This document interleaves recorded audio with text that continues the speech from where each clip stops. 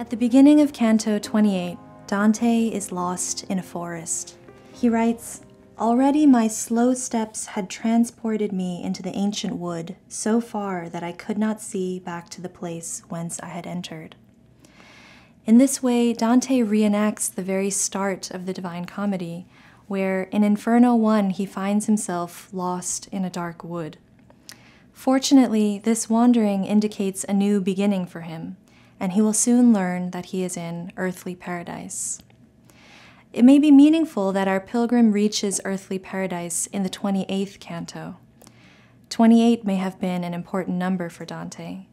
In his earlier work, La Vita Nuova, Beatrice dies in chapter 28, and 28 was also considered a perfect number because its divisors 4 and 7 were also significant four for the four Gospels, and seven for the Sabbath. We might also remember that this is the seventh day of Dante's journey, and he has finally found a place of rest. As he strolls deeper into the wood, we experience with him the fragrant air, the sweet breeze, the ethereal birdsong. He tells us, I left the bank, taking the plain slowly, slowly over ground that breathed fragrance from every side. A sweet breeze, unchanging in itself, struck my brow with no greater force than a gentle wind, by which the pliant branches, trembling, were bent, all of them toward where the holy mountain casts its earliest shadow, but not parted so much from their straightness that the little birds in their tree tops left off exerting their every art. The forest, which flourishes with every form of plant life, grows spontaneously and is sustained by a fountain of divine source. It is a self generating, self sustaining environment, and Dante is a harmonious figure in this landscape. He too is now, in a sense, self sufficient, having been crowned and mitred lord over himself in the previous canto. And for the first time, he steps out ahead of Virgil and Statius. Coming to the bank of a clear stream, he sees a beautiful woman singing, dancing, and gathering flowers, an image of a pristine Eve to Dante's restored Adam. He pleads with her to come closer so that he might better hear her song, and gives us three images from classical mythology. First, he compares her to the beautiful Proserpina, who was also collecting flowers when she was abducted by the god of the underworld.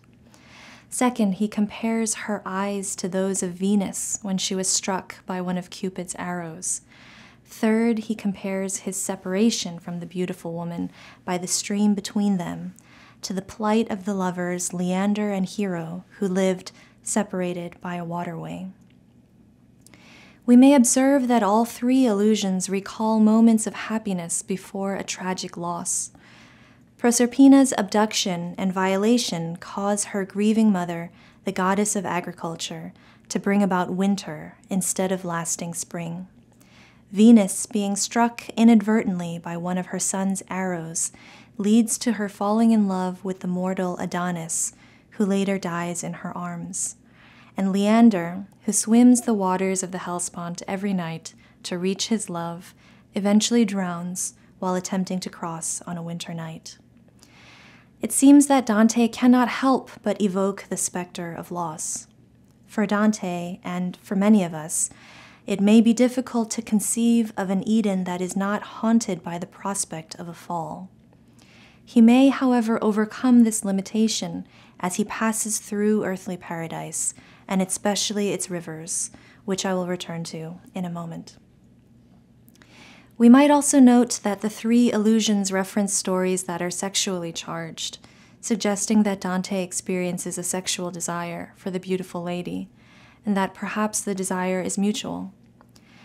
This is intriguing, however, since we will remember that he has just been through a fire purifying him of all carnal lust and that the previous canto ended with instructions to let pleasure be his guide. Somehow, this longing must be appropriate and good, with sensual desire perhaps now representing spiritual desire. In this way, earthly paradise, as even its name suggests, is a place of paradoxes.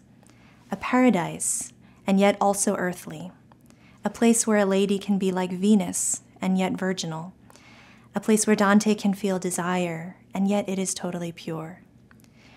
The lady cheerfully answers Dante's questions, providing a lesson on the climate and vegetation of earthly paradise. Most importantly, she introduces him to two rivers, flowing from a single divine source, through which he must pass in order to be completely prepared for paradise. Like the other treatments of purgatory, the rivers serve a dual function, both purging and also restorative.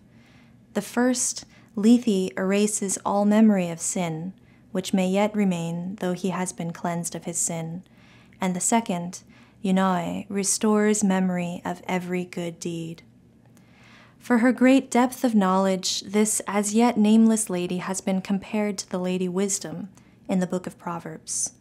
We could then say that it is reason, whom Virgil is often understood to symbolize, who guides Dante to wisdom, and it will be wisdom who leads him to revelation, as represented by the figure of Beatrice in Paradise. At the end of her tutorial, the lady offers Dante what she calls a corollary, a kind of bonus insight. She reminds Dante of the classical myth of the Golden Age, which imagined a time when men were good, the world was at peace, and the earth enjoyed unending spring, and explains that the poets who dreamed of this Golden Age were approximating earthly paradise for human dreams of idyllic bliss find their origin here. She says, Those who in ancient times wrote in their poetry of the age of gold and its happy state, perhaps on Parnassus dreamed this place. Here the human root was innocent. Here there is always spring and every fruit. This is the nectar of which each one tells.